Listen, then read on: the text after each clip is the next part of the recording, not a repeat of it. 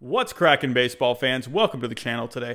So, in honor of Major League Baseball's opening day that did not happen this past week, I have come up with a list of my favorite Major League Baseball opening day moments. If you are new here today and you're looking for more baseball insight during this downtime, feel free to subscribe down below. If you like today's video, leave me a thumbs up. If not, leave me a thumbs down and please leave a comment at the end. Tell me what you think.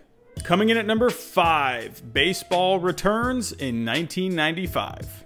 1994 will always be remembered for being the season that was cut short due to the players striking against a possible salary cap.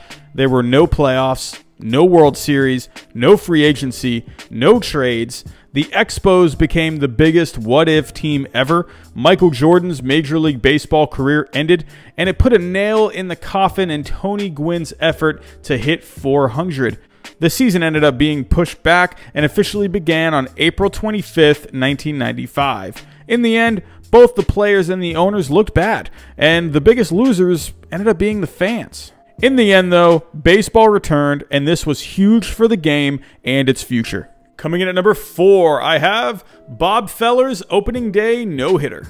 As of right now in 2020, there has only been one man to throw a no hitter on opening day, and that goes to Bob Feller, one of the best pitchers of all time. In a career that spanned 20 years, that also included three years of military service, Bob Feller won 266 games. He had 2,581 strikeouts. He had six seasons of more than 20 wins and one World Series ring. He also threw three no hitters in his career, with the first one coming on opening day in 1940 against the Chicago White Sox. While he did walk five guys, he did end up striking out eight batters in a game that will go down in opening day history. Coming in at number three, I have Frank Robinson making his debut as the first ever African American manager. While Jackie Robinson gets most of the credit for breaking the color barrier, one person that also deserves a ton of credit is Frank Robinson.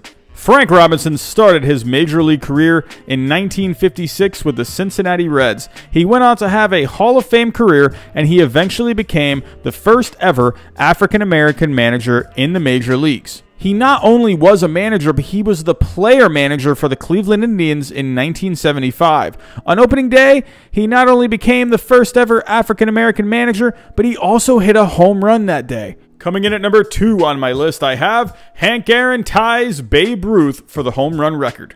When Babe Ruth retired with 714 home runs, no one, and I mean no one, thought anyone would ever break that record. Enter Hank Aaron.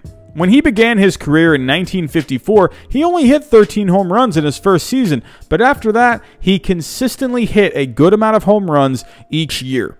In 1971, at 37 years old, he started to pick up some serious steam as he hit a career high 47 home runs, putting him at 639 for his career.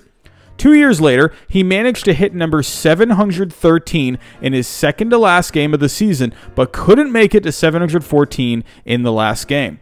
After a long winter that included a lot of death threats in the mail from people not wanting him to pass Babe Ruth, Hank Aaron went on to hit a three run homer in his first at bat of the season and to tie Babe Ruth. An absolutely incredible opening day moment. And coming in at number one on my list, I have Jackie Robinson debuting. This isn't only an amazing baseball moment, but a great moment in American history, as this happened right in the middle of the civil rights movement to put an end to racial segregation. Technically, Jackie Robinson wasn't the first ever African American baseball player, as that title goes to Moses Fleetwood Walker. But what Jackie Robinson did during the heart of racial segregation was incredible. Jackie Robinson signed with the Brooklyn Dodgers on April 10th, 1947, and debuted literally five days after on opening day.